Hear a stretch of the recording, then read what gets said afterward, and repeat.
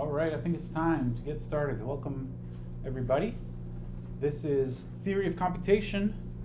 I'm glad to be here. My name is uh, Professor Staecker. That's how you say my last name. And um, Theory of Computation. Actually, I um, this is a class that I really like. I don't know if your professors always claim to like all of their classes, but um, I do not really like all classes equally. But I really like this one, so I'm glad uh, glad to be here. Um, I'm teaching Calc 1 right before this in this room, and teaching Calc 1 again right after this in this room, um, which is why you may see me eating my lunch. I hope you don't mind that. I feel like a high school teacher or something, spending all day in the, in the same room. But, uh, I should put some inspirational signs up on the walls or something. Um, theory of computation. Let's just look at the syllabus real quick, and then we'll get get down to some some business. Um, so you can see my email address there is the best way to get in touch with me.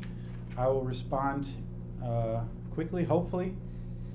Um, my office is Bannow 16 on the ground level. That's down where you know most of the math offices are down there. And my office hours are there Tuesday, Friday, 10 to 11, and Wednesday, 9 to 11.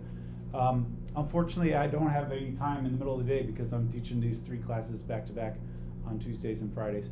But uh, if those times don't work for you, um, please let me know and we can, you know, work something out uh, other than those.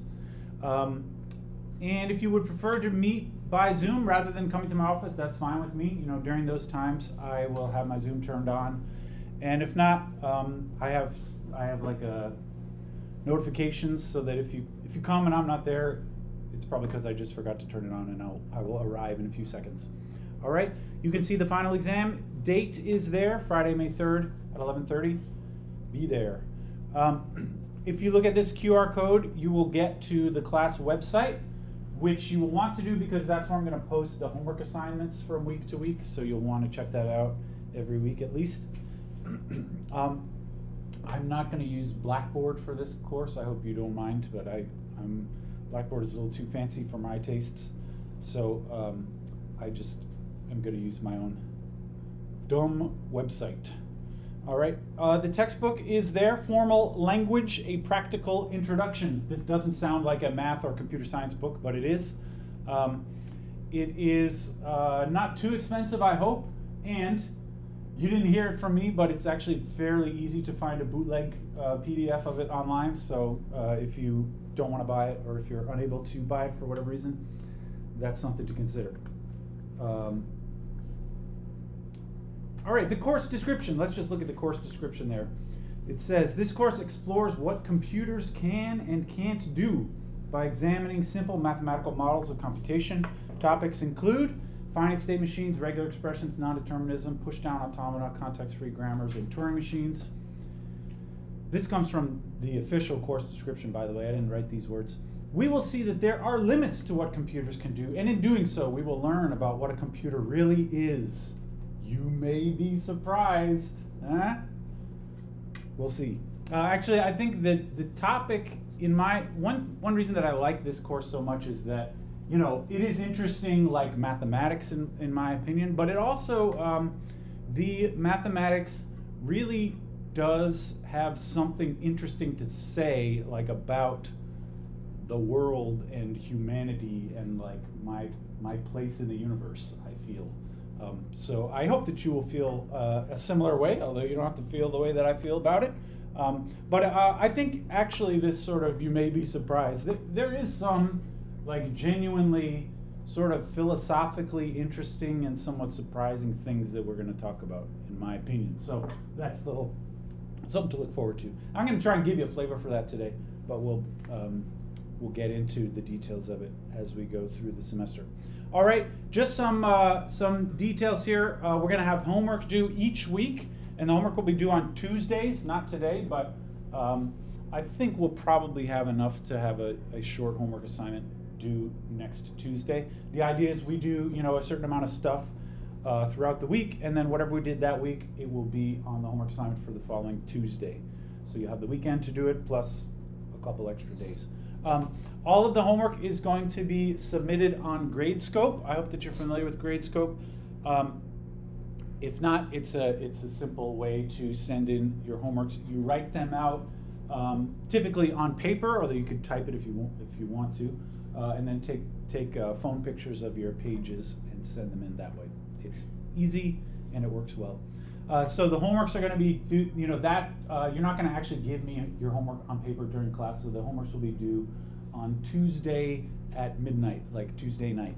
Um, so uh, hopefully you can do the homework over the weekend. But if uh, if it's Tuesday and you still have questions, something you can't figure out, I would be happy to chat about it on Tuesday, uh, and then it's due Tuesday night.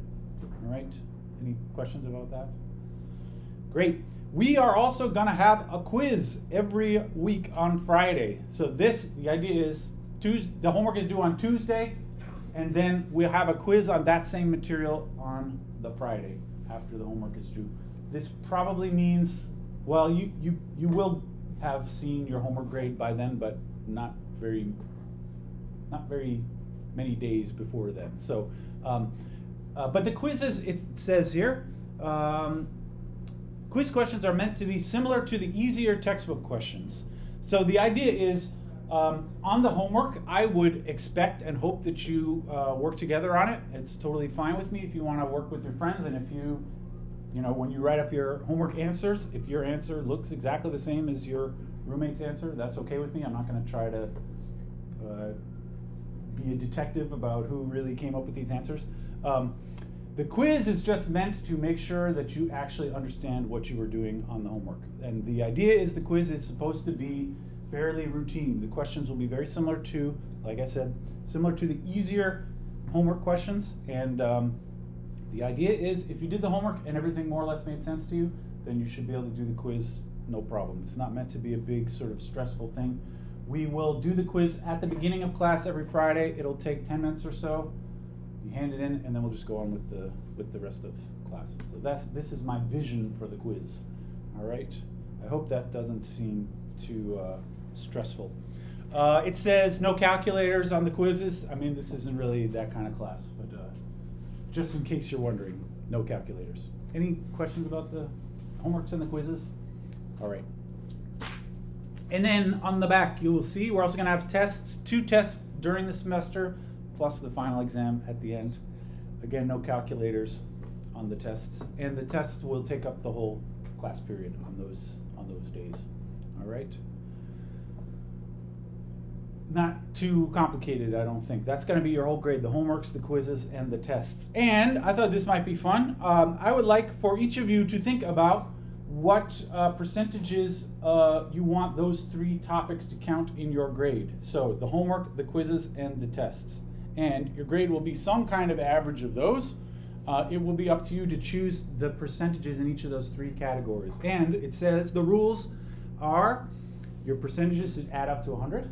Um, each of the three categories has to be 30 or more, so you can't go like 0% on the exams. But um, so 30 or more. And then uh, I would like you to tell me on or before February 6th. So this will be uh, in a couple weeks. It will be after you've seen a, a, quiz or two, so you'll have some idea of how, how those go. But, um, you know, think about how you like to be evaluated. I know some people say, like, I'm really bad at tests, or some people are really good at tests if you want the test to be worth more. The homework kind of, you sort of have like unlimited amount of time to do the homework. The quizzes and the exams are both, uh, you know, timed. So those are things to consider. But think about it. Wait till we see the, the quizzes to see, you know, how you feel about the quizzes. But uh, tell me sometime on or before February 6th. And it says at the end there, if you never tell me, you will default to exactly 33% for each category. Sometimes I have people who just never want to tell me. And I'm not trying to screw you with this. I will I will send emails to remind you, but sometimes people just don't tell me if you don't tell me, I will screw you by one point. You're going to get 33% in each category. Not 33 and a third, exactly 33. All right. Um, everything's going to be on Gradescope. And I think that's all the details that I wanted to share. Anybody have any questions about any of that? It's pretty, uh, pretty no nonsense in my opinion. Yeah. Is there a code, uh, course code for the Gradescope? Uh, yeah, I'm going to uh, have them email you login information? Yeah, I haven't done that yet. Yeah, thanks. All right. Um, I hope it's okay. I'm going to try and do everything on the screens here. I like to, um, one reason I'm doing that is because I'm going to be recording class every day and I'm going to post it after the fact in case you miss class or something like that. You can go check it out or if you want to, if you didn't get something, you want to go watch it again. Be sure to like and subscribe. Um, that's why I'm going to record this. And hopefully, I'm actually not sure about today.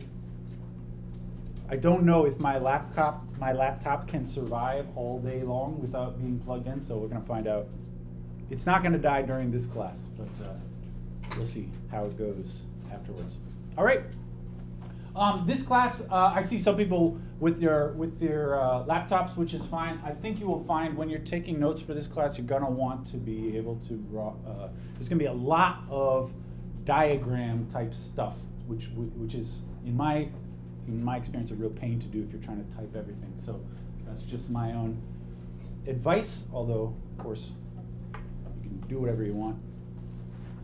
All right, any questions about anything before we get going? I thought maybe we'd do a little sort of introduction to what the uh, idea of the class is all about, and then maybe get down to some, some details. All right, great. Um, I think I, I don't like how this door overlaps the screen, so I'm gonna I like keeping the door open, but you can't see that corner there. Um, feel free to come and go as you please if you need to step out. Okay, great. So this course, here's my little introduction to the theory of computation. This is a course about the idea of a computer. That's how I would describe it. Um, the idea of a computer and kind of the theoretical capabilities and limitations of computers. That's what the description said. Something about um, this course explores what computers can and can't do. So this is about the idea of a computer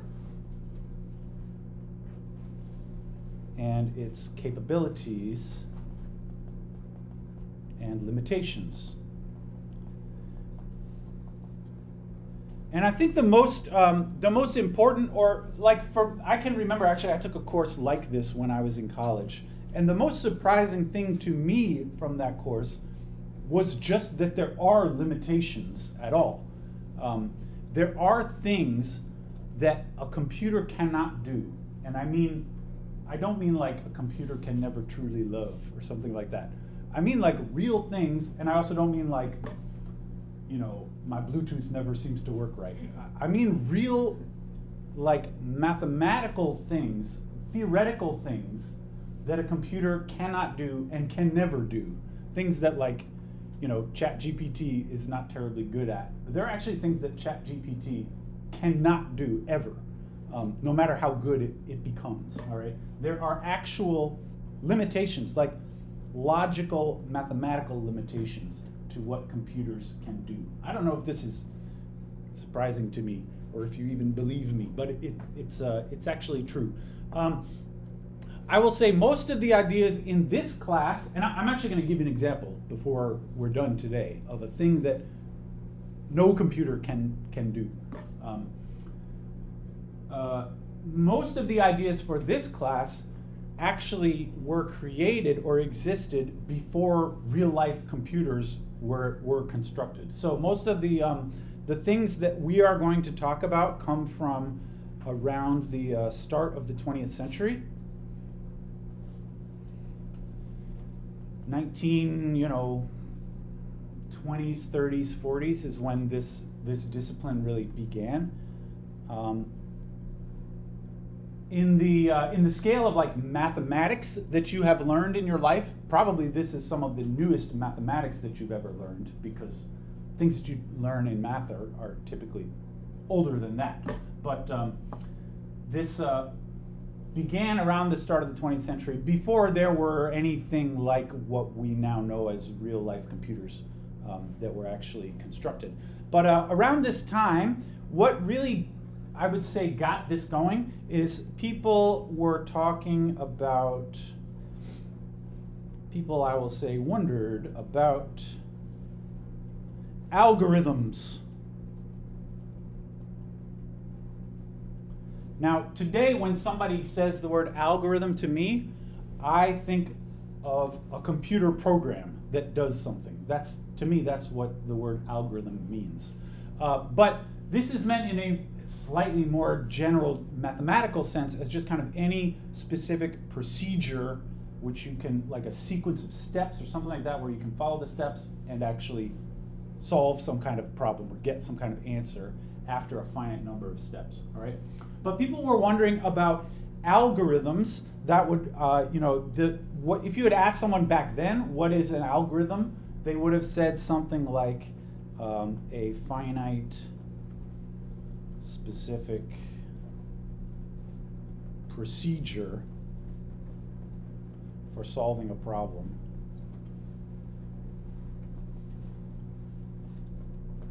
All right. And it was a question that a lot of people were asking at this time in the history of mathematics. This is when sort of like modern philosophy of mathematics started becoming um, a thing that people really talked about. Um, and a major question that people had at that time was this question Is it possible um, to answer any mathematical question algorithmically?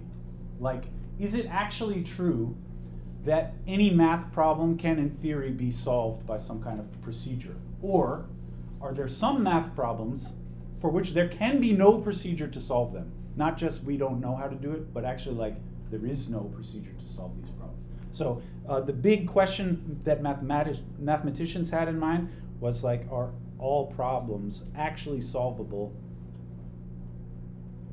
by algorithms?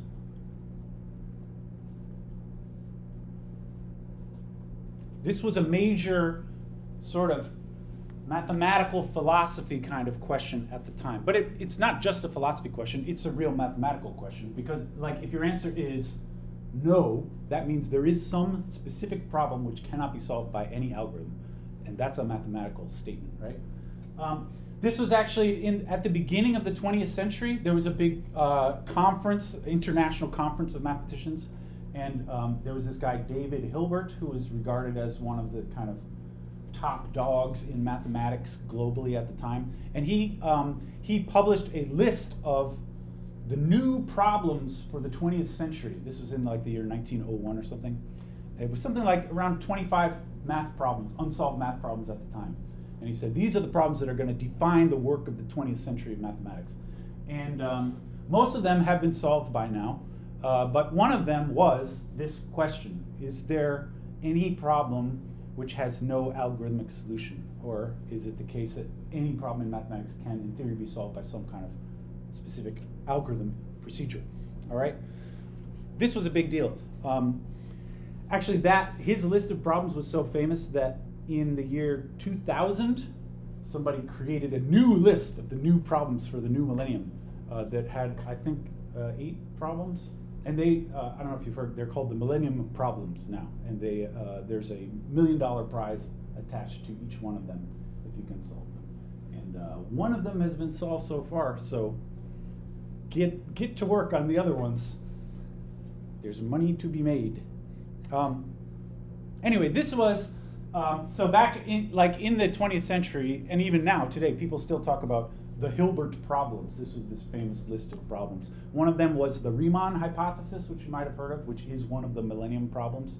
That's the that's the only one that Hilbert identified, which is still unsolved and still considered to be super important. But there, some of the other ones were unsolved.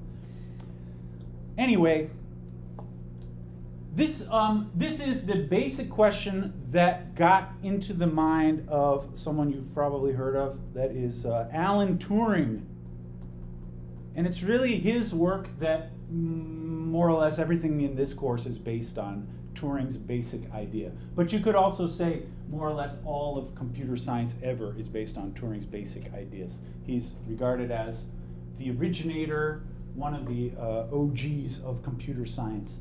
Um, the big question here from a mathematical point of view, or the big issue in trying to answer this question is just this, this thing, right?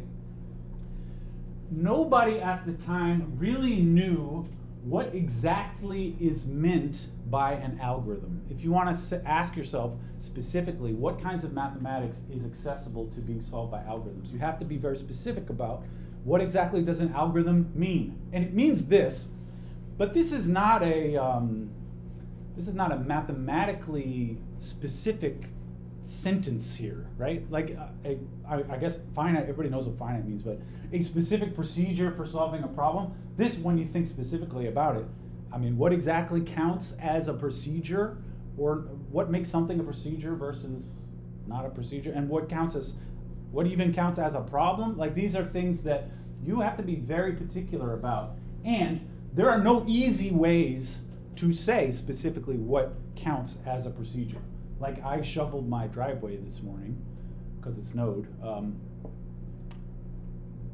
I mean, I could, my back still hurts from doing that. That feels like a procedure to me, but actually that doesn't count. That's not what I mean when I say a mathematical algorithm. Right? What do, what exactly do you mean? Well, it's not it's not clear, right? So Alan Turing, his big contribution, which sort of accidentally ended up creating computer science, is Alan Turing had this idea of what exactly an algorithm is. So Turing, I have the date since I'm talking about history, I might as well tell you. Turing lived 1912 to 1954. Somewhat of a tragic life, in my opinion. If you know anything about Turing, you may agree. Um, so Turing, his big idea was he decided that an algorithm, Turing's big um, sort of contribution was to give a definition for what constitutes an algorithm. He didn't describe it in terms of a procedure for solving a problem because that's too vague. Turing decided that an algorithm is, this was his big idea, any procedure that can be mechanized, that is, anything which can be done by sort of a mindless machine.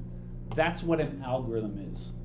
Um, now, on the surface, this is no more specific than this business up here. This is kind of vague. What exactly is meant by a machine? What counts as a machine? Is a human being a machine? Turing actually didn't really want to get into that, but he said any procedure that can be mechanized using a specific, I would say, theoretical machine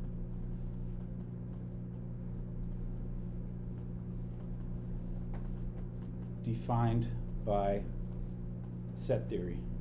So Turing actually gave the details of a specific machine, not he didn't create it in his basement, but he described exactly what its capabilities were, and all of this described in the mathematical language of set theory. All right, this was his big idea, um, and he referred to his machine, his theoretical machine, he referred to as the universal machine.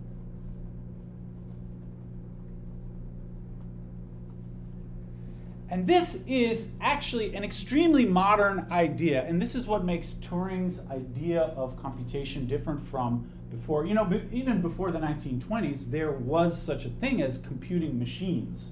You know, there were actually fairly sophisticated calculating machines that were built in the late 1800s that can add and multiply numbers and such with gears and, and things like that. Um, so there did exist computing machines before this time, but Turing's big idea was that there could, in theory, be a single machine which didn't have a particular purpose. It was not a machine for adding or multiplying or something specific like that. But there could be a machine which, in theory, could do anything. It didn't have a specific purpose, but it could be reconfigured to do whatever you tell it to do. It could to do anything.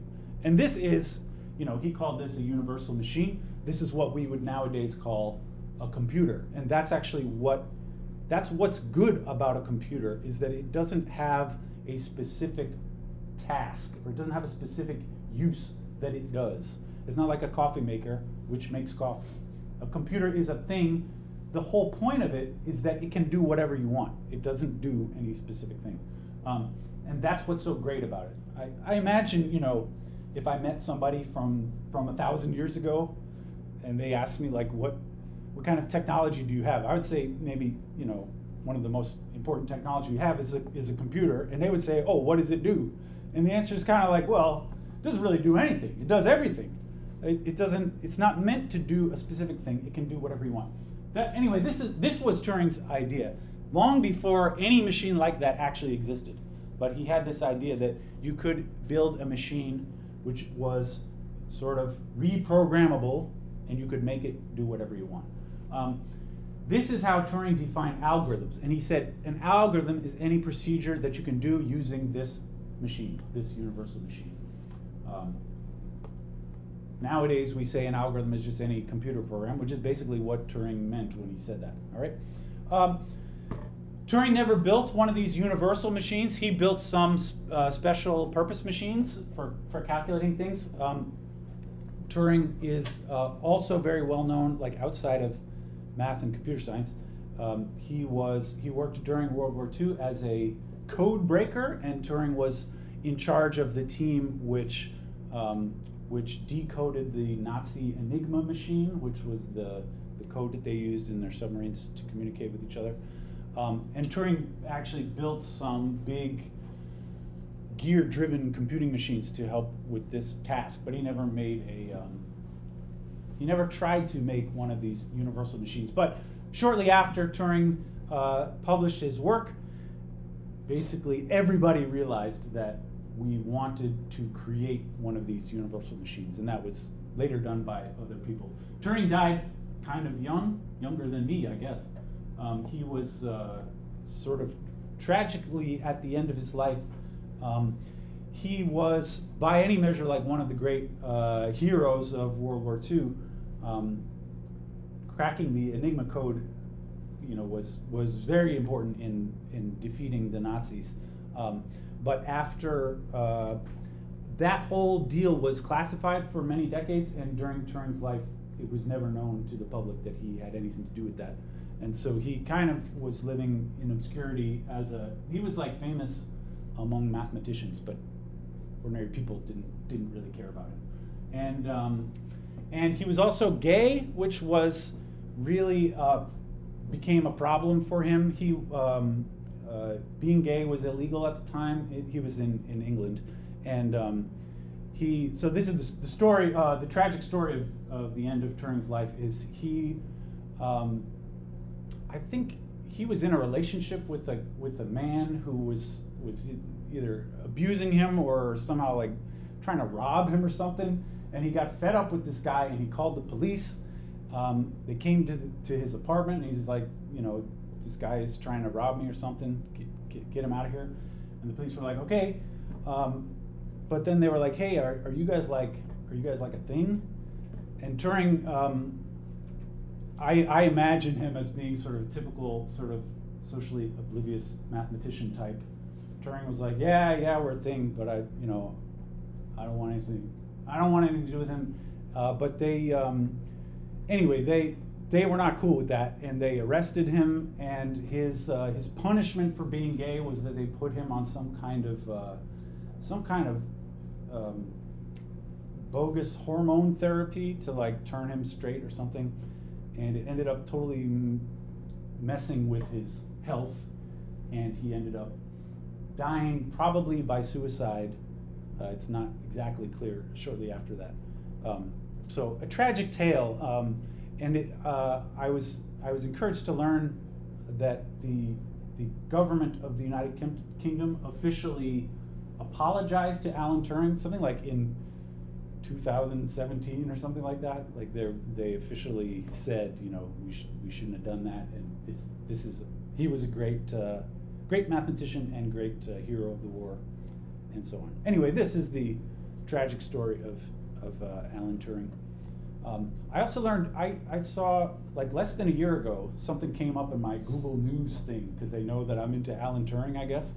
Um, somebody, um, somebody like in Wisconsin had a bunch of original documents from Turing's um, research that they had stolen from a library in, in England.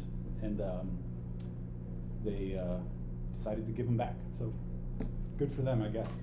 Um, anyway, this is the story of Alan Turing. So anyway, what what we're going to be talking about in this class is specifically about like Turing's um, abstract model of the universal machine. And um, this course you will you'll you'll gather fairly quickly. This course we are not going to do a lot or perhaps any actual pro programming with actual computers because that's you know this class is not about um, my computer like a Mac laptop versus your computer a, a Samsung phone. It's about the idea of any kind of computing machine. So we're going to talk about uh, the capabilities of Turing's abstract universal machine, which are automatically the same capabilities exist for real life uh, computers, any, any real life computer.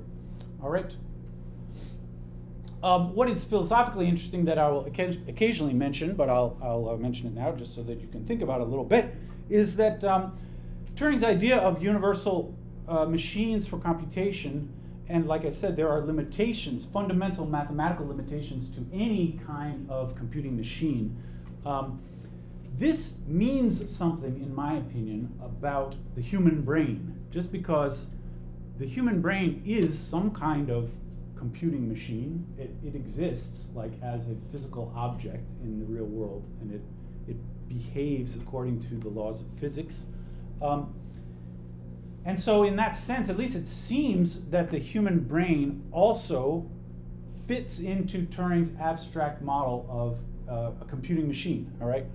Um, what this means is that uh, limitations of the universal, the abstract universal machine, are also necessarily limitations of human beings. And, and you know, we, we tend to think of like computers can do certain things, but people we're like really different. Um, and I would say yes, people are different from computers, at least today at this point in history. But um, who knows about the future? And any kind of abstract mathematical limitations that exist for universal uh, computing machines, they must necessarily also exist for human beings, unless you believe that somehow the brain is a, is a magical thing. It, it's not a real machine at all. Um, uh, this is something to think about, though, in my opinion. I'm not going to try and tell you how to think about things. Um, I, um, I had a hard time with this actually when I was in college because I am uh, I'm you know you don't have to care about this, but I'm a person of faith, and I I actually don't really like thinking of myself as a machine. Um, I don't like thinking of my brain as a as a thing which is simply obeying physical laws. I like to think that I have some kind of a, an eternal soul and that um, you know uh, that there's real value in something other than my physical body. Um, so this was a hard thing for me to accept as a uh, as a youth when I first learned about this, but I will tell you, um, I still believe that I have a beautiful soul, and I still believe that my brain is a universal Turing machine with limitations for mathematical reasons. Uh, it's not. Um, it feels a little weird, but uh, I don't think actually there's a, there's a conflict there. You know, it's a most people of faith also accept as a basic fact in faith. This is certainly true if you're a Christian or a Catholic that the human body is an imperfect vessel. It is the, the home of our soul, but it's not uh, perfect and it doesn't do everything that we want it to do. I think this is very much consistent with an immortal soul that lives inside of a, of a machine that has to obey certain rules. So, anyway, these are all things that I think about sometimes. I don't care if you want to think about them too, but it's interesting to me. All right, let's get to. I said I would tell you about one real example of a thing that a computer cannot do by the end of today. Uh, this is still sort of by way of introduction, but um, I would like to talk to you about. Um, oops an uncomputable problem. We now know that there are actually mathematically uncomputable things. There are things which cannot be solved by any algorithm, and these are called uncomputable, or sometimes they are called undecidable problems. And the most famous of these, you may have heard of, this is called the halting problem. So I would like to let's just talk a little bit about the halting problem.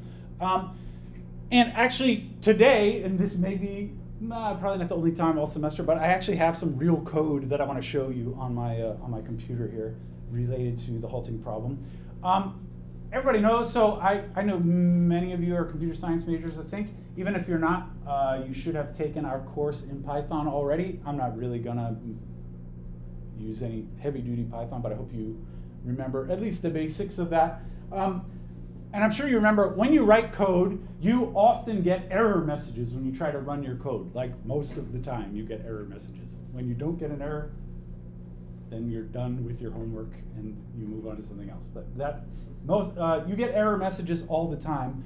Um, that is the um, compiler or the interpreter, depending on what you're using. The interpreter, I'll just say interpreters.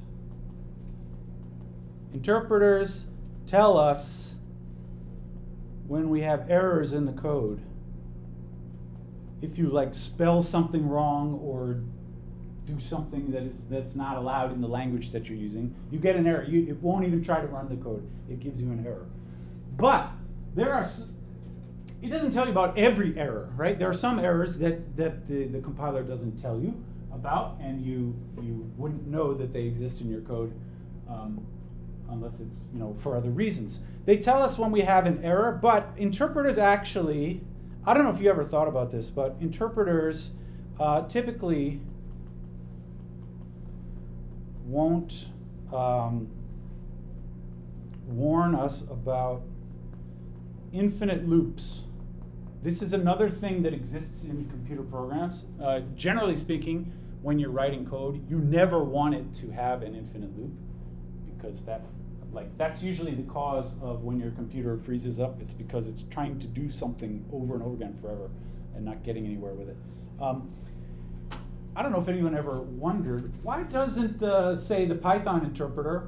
I mean, it can tell when I have a typo in my code. Why doesn't it tell me if my code is going to have an infinite loop in it? And I suppose the answer is, well, that's a lot harder to tell if your code is going to have an infinite loop or not, versus a typo is fairly easy to spot. Um, but uh, of course, people who make these interpreters are pretty smart people, and they've been doing it for a long time. Ha- why why haven't they come up with some kind of like infinite loop detector for the compiler or the, inter- the interpreter so that it will check before trying to run my code if there's going to be an infinite loop. So my question is, can there be an infinite loop detector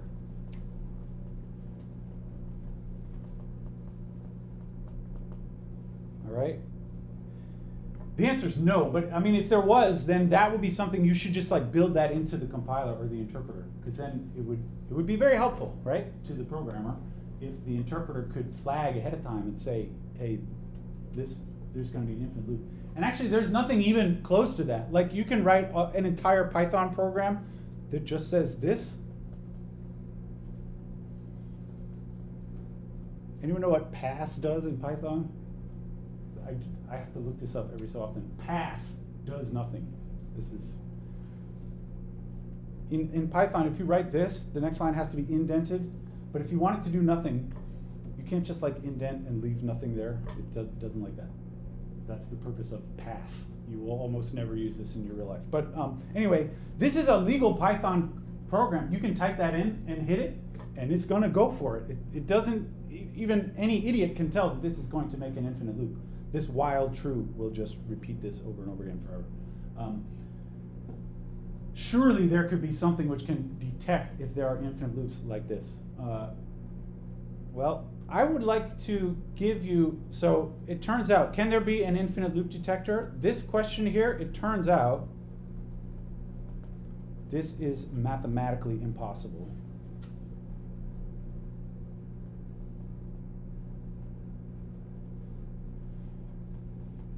And I'm going to try to show you why before we leave today. We got time, right? When we finish at oh 145? Yeah, right. We'll see. Uh, it's not possible actually to make an infinite loop detector. Um, I would like to. I hope you don't mind these little uh, historical stories. One more little historical tidbit. Um, just a little, a little uh, diversion, a little bit. I would like you to consider a famous unsolved problem in mathematics called the perfect box problem. This is actually a, an unsolved problem today. Uh, nobody knows the answer to what I'm about to describe to you. Uh, the question is, can you make a rectangle? This is an easy version of the question. Um, is there a rectangle? Can we make both sides and the diagonal all integers? Anybody know the answer? This is not the unsolved problem. This is actually, once you see the answer, everybody will, will agree. Oh yeah, that's how you, anybody say, how, how would you make, choose the side, this is a, you know, right angled rectangle. Both sides and the diagonal all integers, that is whole numbers, no decimals or anything. Yeah? No. The answer is yes, you can. It is possible. It's like the same two right triangles. There are like uh, special right triangles. Yeah, special right triangles. You y'all remember the uh, the old three, four, five triangle? This is not something you need to know for this course, but uh, if I make this a three and this a four, then the diagonal will be a five, right? So it is possible. Is that the only way to do it? No, there are other. There are other. These are called the Pythagorean triples. All right. So this is well understood that you can make both sides and the diagonal all integers. The more interesting problem is this. Can we do it with a three-dimensional box where all the sides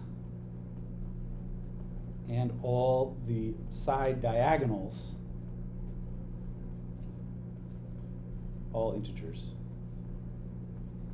Can we do that? So that means the sides and also that diagonal and also that diagonal and also that diagonal, right? And the ones on the back, but they're the same as the ones on the front. So this is really all we need, those six diagonals. Can you make all of those diagonals all integers, all right? Is that possible? Well, this is more complicated. You could make one of them a three, four, five, uh, but then you'd have to figure out, like I could put those ones here, three, four, five, right? But then I would have to figure out, okay, that means this is a three. Uh, then I'd have to figure out how to how to choose these. I guess I could do the three, four, five again, but then the diagonal, um, then the top is going to be messed up because the top would be four by four, and the diagonal would be the square root of 32, which is not an integer, right? It's, it's, it's more complicated here, all right? But actually, I would like to uh, share with you, I wrote a little Python code that can try to figure this out. This is what they call in the business trying to solve this by brute force. Now, I don't I don't care if you want to read through this in detail. I'm going to post this on the on the class website later. You can check it out. But basically what it's going to do is here it says triples. The first thing it's going to generate all possible three uh, three coordinate triples. It's basically going to try to just guess three different sides for the, the length, width, and height here. It's just going to guess three different sides and then figure out what the diagonals are and see if they're all integers or not. Um, and it, it, just, by brute force, it's going to create all possible uh, three-dimensional boxes and check for if it's a perfect box or not. So in my, I'm gonna run this, I'm old school, so I run my Python into terminal. Uh, I called this perfect box. What? Oh, sorry. I'm old school and not very good at this. So I'm going to run this function called perfect box. And what it says here, sorry, it's off the side. It is now trying to construct boxes. It's constructing all possible boxes and then just checking to see if the diagonals are all integers, which they're usually not. You can see it, it's kind of slowing down now because uh, this, it says m equals whatever. Those values of m are the sum of the three dimensions. So it says m equals 400. That means it's going to try all possible boxes where the three dimensions add up to 400. Um, hey, look at that. We found one, right? So actually, there is a perfect box. It has those dimensions, and that's actually the smallest one. And for a long time, people didn't know this just because it's such a such a weird, big, uh, seemingly random thing that to check. All right. But anyway, that's that's uh, my question here. All sides and all side diagonals, all integers. The answer is yes. This is possible. So can we do this? Yes. I forgot the numbers already, but that's what it was. All right. Now I said this was going to be about an unsolved problem. The unsolved problem is this. What if I want all of that and also what about so a perfect box This is also sometimes called an Euler box or an Euler brick or an Euler cuboid. It has other names. But anyway, a perfect box also has the solid diagonal an integer. That is the diagonal that goes straight through the box from one corner to its opposite in three dimensions. All right, and that I did not check for in this code. I only checked the, the diagonals on the sides, but not the one straight through the middle. All right, so a perfect box also has the solid diagonal as an integer, and this is unknown whether this exists or not. People have been working on this problem for I would say at least 100 years, people realized that this was an interesting question to ask, and it's still it's not known if this is possible. This would be in the uh, in the mathematical area called number theory, which is about numbers, usually whole numbers, which I actually personally don't know a lot about number theory, but so I, I am not personally working on this problem. But I would like to suggest that uh, couldn't you do the same thing with the code that I just did, I mean, the code that I just did did not check the solid diagonal, but you could also check the solid diagonal and do the same thing, right? And actually, I did that. So if you look in my in my code here, you will see. I don't know if you can see this, and it's not it's not so important. But this this line right here, it says if almost perfect box, then return that, and that's when it stops. But this is what I called an almost perfect. It didn't have the solid one. What if I switch it with this one, which was commented? Now it's going to only stop when it finds the perfect, perfect box with the solid diagonal also an integer. So I'm going to get out of here, reload it, run it again. All right. Can you see that? Yes. So now it's running again. Now it's searching for the true perfect box, the perfect, perfect box. All right. Anybody want to predict what's going to happen here?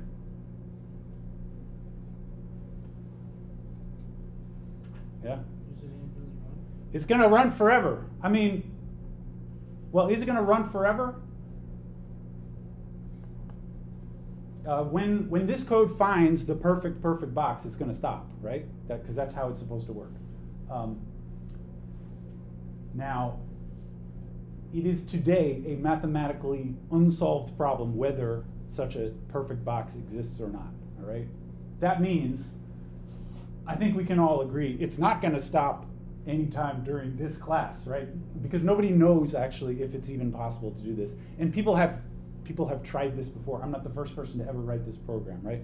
So um, people have tried to compute in the same way whether the perfect box exists. No one has ever found it, but there's never been a proof that it's impossible.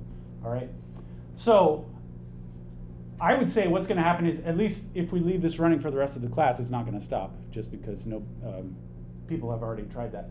But um, I don't know for sure if this is going to run forever, like really forever, because I don't know if a perfect box exists or not. All right. Um, I'm going to stop it for now, though, just to save my save my battery life. What? There. Um, so anyway, what that means is so it's mathematically not known if it's possible to find a perfect box. What that means is it's mathematically unknown if my code, like that specific code that I just wrote, is an infinite loop or not. Right?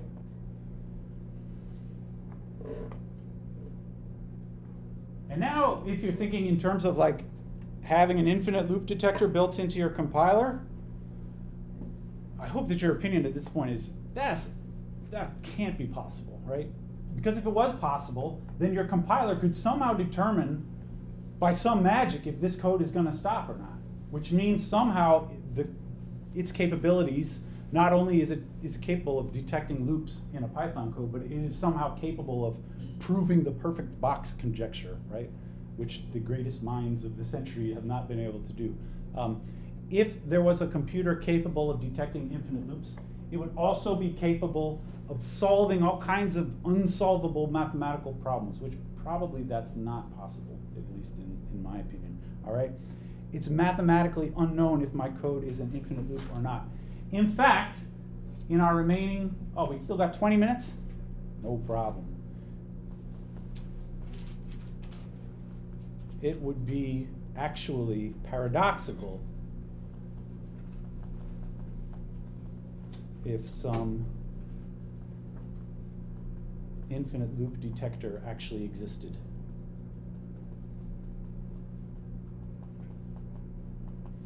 All right. I'm trying to tell you about some limitation that no computer can have an infinite loop detector. Actually, and I'm going to try to explain why. If, if such a thing did exist, this would cause some kind of logical incons inconsistency. So this, you could say, is like a proof by contradiction that no infinite loop detector could possibly exist. So I'm going to say, so here's a little proof, right? We're going to assume, in order to get a contradiction,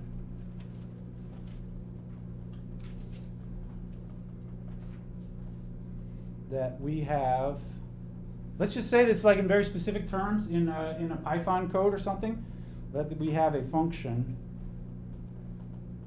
that's called, I'll call it, does it halt of f. And the idea is you plug some other Python function into it, and it just gives you a true or false based on does that other function have an infinite loop or does it stop? All right? This gives true or false based on if f halts. By the way, this is a little weird, but this is allowed in Python. You can plug a function as a, uh, as a variable into another function that, that is allowed because Python allows functional programming. Um, all right, so this is going to be a proof by contradiction. So I'm going to explain why, if you allow that this exists, then you can do something else with that, which is somehow nonsensical. That's the idea behind a proof by contradiction, right? So we're going to assume we have a function called does it halt like this, and it just tells you true or false whether the function halts or not. Now, I'm going to use that to define another function. I'll just call this one, so I'm going to write this in real Python, g is another function with no, no variables, no parameters. And this is what it says. If does it halt of g and then inside while true pass. All right.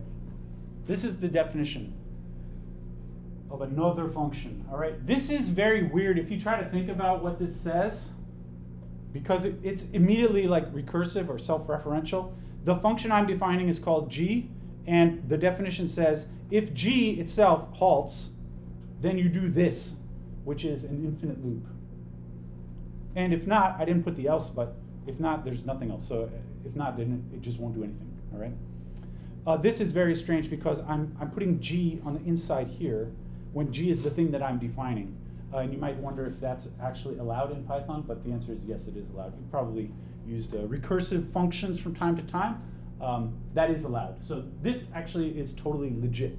Um, the only thing that's not legit is this does it halt is actually, this cannot exist, but that's, I'm assuming that it does exist to get a contradiction. So anyway, if you look at this, you know, this part right here, this makes an infinite loop, right? That's what the pass means. While true pass. Sorry, I need a colon there. That's what the compiler would say. Um, while true pass will just loop forever, doing nothing. All right. So if I were to analyze the behavior of sort of in words, what does G do? Well, it starts by checking if G halts. And if G does halt, it does an infinite loop. So what G does is, if G halts, then what does G does? Then G does an infinite loop. Because this is the definition of G that I'm talking about, right?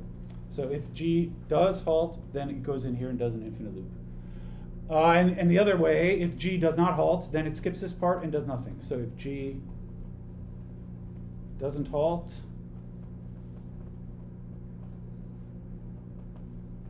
then G uh, stops and does nothing.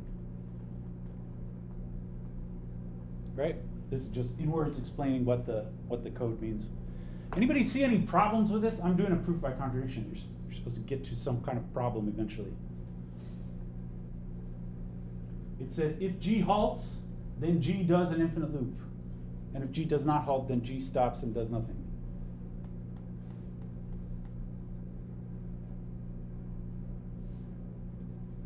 Maybe I'll, re I'll rewrite this in a more, uh, more scandalous way. This, this right here, rephrased a little bit, it says if G halts, then it says here G does an infinite loop, right? That means it runs forever. That means it doesn't halt, right? And the second part says if G doesn't halt, then it stops and does nothing. That means it halts. So the second part says if G doesn't halt, then G halts. Does that sound like nonsense to anybody else? I hope you agree this is impossible. This is like a this is like, you know, saying I always lie or something like that. It's like a immediately self-contradictory uh, situation, all right? So this is impossible. This is a paradoxical, like logically paradoxical situation. So this cannot actually exist in the real world. This is impossible. So the conclusion, since that whole thing is impossible, it means that G must not exist. Right? That's what I conclude from this from this statement. It's not possible for any G to obey these two statements, which means G, as I've defined it, must not exist. But like I said before, everything about the definition of G is totally legitimate Python. The only thing that's, that's questionable is just the fact that I used this thing here. So my only conclusion, if G cannot exist logically, the only conclusion is that this function right here cannot exist logically, all right? So G must not exist, which means, so does it halt, cannot exist. All right, end of the proof this is this has demonstrated that there can be no I mean specifically I'm talking about Python here, but there can be no Python program that will tell you if another Python function halts or not. All right, and this is uh, this is not specific to Python, although I'm just talking about it in the context of Python. It's not specific to Python. We're going to talk about it in more generality later on in the course, like much later. But um, this is the halting problem, and it is the fundamental um, limitation of uh, any computer, uh, anything operating in terms of algorithms, cannot solve the halting problem. What that means is it's not possible to, in all cases, detect whether a program has an infinite loop or not. Uh, just for fun, I tried to. Um, I took my perfect box code. So that the perfect box code, it's not possible to tell if it has an infinite loop or not, just because we don't know if the perfect box exists or not. Um, I typed that code into ChatGPT and said, is there going to be an infinite loop if I run this code? And um, it said, it was actually, it gave a pretty well-informed answer. It said, um, I can't tell you if there's going to be an infinite loop or not. because that depends on whether this perfect box function actually exists or not, um, which I thought was a pretty good answer. And then I said, um, can't you just tell in general whether some code will give an infinite loop or not? And then it said, that actually is called the halting problem and it is unsolvable by any computer and so I can't. Uh, which I was also, that's a good answer, Chat GPT. Sometimes they get it right. Um, the halting problem is not solvable by any, any computer. And I'm not talking about you know Mac versus Windows. This is a fundamental limitation of any um, even theoretical computing machine. All right. It makes me wonder, you know, can God solve the halting problem? Um, maybe I'll let you think about that. Uh, something to think about. We'd like to say God can solve everything, but um, all right. Any any thoughts about that? Anyone have any uh, hopes and dreams for the semester based on the unsolvability of the halting problem? I think it's a very interesting thing to think about. I don't know if you feel that it's interesting, and um, you are free to feel whatever you like to feel about it. All right. In our remaining, we got 15 minutes left. I think we can start just very uh, talking about the very basics of the you know technical matter. So we've been talking about ideas for a while, but the as I said before, you know Turing's major contribution to this whole thing. All of these were ideas that people could have thought about before. Turing's major contribution was to find a way of specifically referring to all of these things in the mathematical language of set theory, which allows you to actually reason in detail about it. And so, um, you know, what we're going to talk about, certainly for the rest of today and maybe next time, is not going to resemble at all what I was just doing, but we need to sort of set the mathematical framework in which we're going to discuss all of these things. So let's begin. Everything I'm going to say for the next 15 minutes will be fairly obvious. It's just a matter of coming up with some terminology that we can base our the rest of our discussion on. So I want to talk about languages you know, our textbook is called Formal Language. Uh, Turing described everything in terms of machines, but you could also describe things in terms of languages. And other people, other sort of math philosophers at the time, had similar ideas which they thought of in terms of what they called formal languages, which we might think of as like programming languages. Um, everything that I just said about Python actually you don't need to have a real computer that runs Python in order for what I said to be true. It's just a language. So we're going to talk about languages. So some basic terminology. Every language is built from what we're going to call an alphabet. So an alphabet is a finite set of symbols, which you could call letters if you like to. It's always going to be a finite set, like A, B, C, etc., down to Z maybe. Or Oftentimes, computing machines are described in terms of the alphabet just 0 and 1. This would be a binary alphabet. Or something like there are standard alphabets that are used in computers. Uh, sort of an old fashioned one is called the ASCII character set, which includes all upper and lowercase letters plus number digits and other, you know, all the things that you see on your keyboard basically. Um, or there's a, a more modern sort of lang- uh, alphabet set that's used in computers called Unicode, which has uh, characters from other languages and things like that. These are all examples of computing alphabets. And the languages are built off of those individual characters sort of strung together in various more complicated ways. All right, usually in our, um, when we're do, you know, writing formulas involving these things, we use uh, the capital sigma there for the alphabet. That's a capital sigma, which is going to represent the set of characters.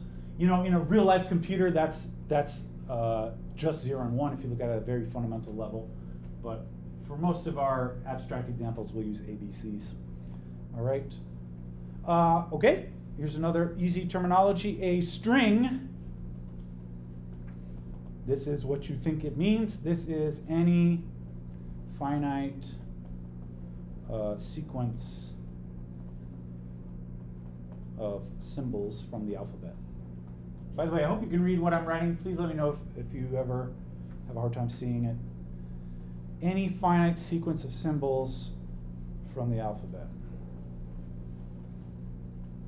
That is what you think the word string means, like in a programming language. So, for instance, for instance, for sigma equals, say, zero and one, um, you know, strings look like. I said sequence. Usually, mathematically, in a sequence, you use commas, but I'm not going to put commas in, in between. You know, like that's a string of zeros and ones. All right. We would say this is is a string. The language, the way we would describe this, is this is a string on sigma, meaning it's a string where the individual characters are taken from the alphabet, which is called sigma, or you know, zero zero zero or one by itself. That's a string.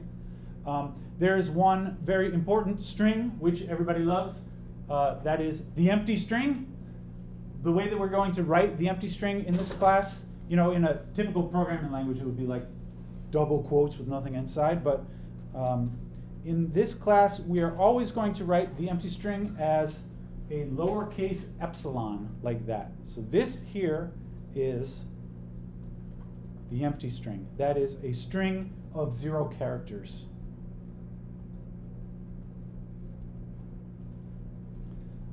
The empty string sounds stupid, but it's important. You know, it's similar to like the number zero, which sounds like it's, it doesn't mean anything, but it, you need it to talk about anything uh, sophisticated. All right, that's called the empty string. This can be slightly confusing. So like this symbol, the epsilon, is not part of the alphabet because epsilon is not a thing by itself. It just represents a string with no characters in it. All right, so the epsilon does not count as one of the alphabet letters. It's just the empty string. All right. Any thoughts about this? I hope this is, all sounds fairly straightforward. Um, one thing you can do with strings is any string has a length. And in this class, we are going to write the length of a string using the absolute value bars or the the magnitude or something. All right, so that's that's what these absolute value bars mean. If you put a string on the inside, that means the length of that string. So that string has length three, or the length of say one by itself is one, or the length of the empty string is what do you say? Zero. Yeah. Is that a trick question? I don't know. Looks like there's one thing in there, but that one thing is the empty string, so it has length zero. All right, great. Um, generally speaking, we're going to use, I've been using zeros and ones, but actually for most of the our examples that we talk about in this class, usually we use uh, ABC for individual characters. In the alphabet, and we'll use X, Y, Z for strings. This is just sort of culturally how we're going to typically use our variables. Although occasionally X will be a letter in the alphabet. All right. Uh, there's one operation which you can do using strings, and that is with a fancy terminology called concatenation.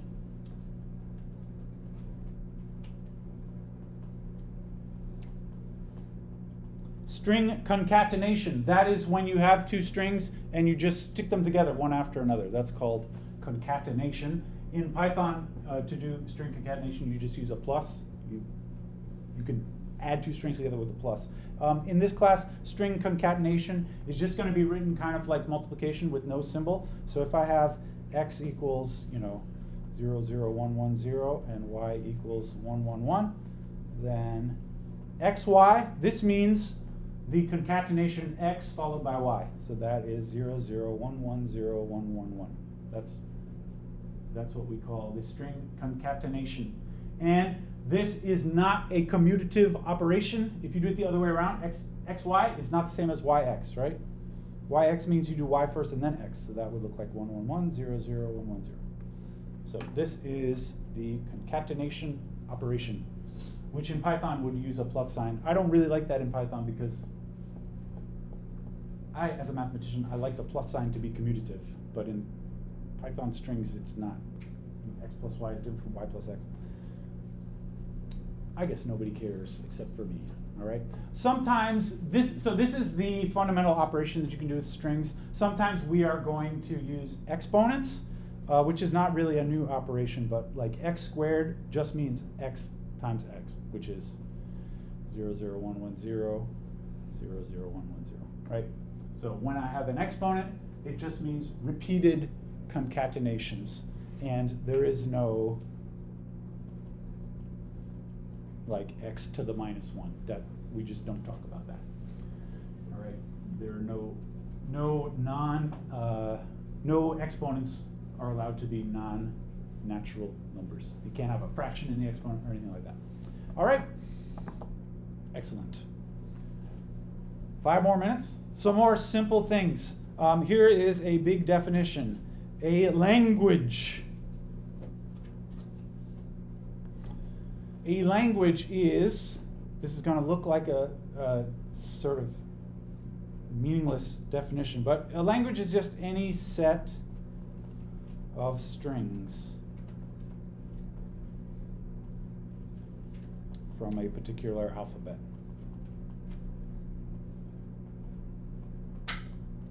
That's called a language. It's just any particular set of strings from an alphabet. So for example, for sigma equals 0, 1, if I'm talking about just binary strings, uh, you know, something like this is a language. If I wanted to describe in words, this is the language of all strings of length 1 or 2, right? That's what uh, I mean when I say language. Why this should be called a language and not just a set, we'll get to uh, next time, I suppose, but this is called a language in this theory. Or you can also define a language using more sort of fancy kind of set theory descriptions, something like this. This is a language. So this means the set of all strings which have this format 101 to the power n, where n is a natural number. And I should say, in this class, this, this natural number thing here, this is the set of natural numbers, which does include zero in this class. Mathematicians and computer scientists are generally undecisive about whether the natural numbers include zero. Usually computer scientists say it does include zero. Often mathematicians say it doesn't in this class, and this is really, I don't have a personal opinion, but in our textbook, zero always is included in the set of natural numbers. All right. Uh, by the way, I didn't say what is what does it mean to have zero in the exponent? Anybody want to think what what is what what does that even mean? One zero one to the power zero. Maybe would you mind if I scroll up and add that into the, the notes here? What should be x to the zero power in this case? Yeah. One. This is a good. Uh, this is a, a good guess. I know why you say that. It's not quite using one. It doesn't really make a lot of sense in this case, just because like one is like one of these letters here, right? One. Um, it's not one. Yeah. Yeah, I would say the empty string is something that makes sense to to use for this. The empty string. I think if you were thinking one, I imagine what you were really thinking is it should be the multiplicative identity element. And the empty string functions as an identity element when you multiply it because anything times the empty string as concatenation just equals the same thing again. So yeah, thank you. Uh, so that's what this means. So this language, if I were to write out the elements, it would look like, sorry, the empty string first, and then 101, and then 101, 101, and then 101, 101, 101, etc. Right? That's what those elements look like if you want to actually write them out in sequence. Okay, or one more example. How about the empty set? That is a language. It's the empty language, which is basically useless by itself, but just like the number zero and other things, it's, it's important to talk about from time to time. The empty set counts as a language. Remember, the definition of language is just any set. Can I tell you? We got one more minute. Can I just tell you one more thing? Um, sort of the opposite of the empty language would be like the everything language. And that has a symbol. It's this. This is the set of all strings. Set of all strings on sigma. All right? That also is a language. So you can have a language of nothing or you can have a language of everything. They are both kind of equally useless. The interesting languages are ones where only some things are in there and not everything. All right? All right, I think that'll do it for today. We'll do some some actual business next time.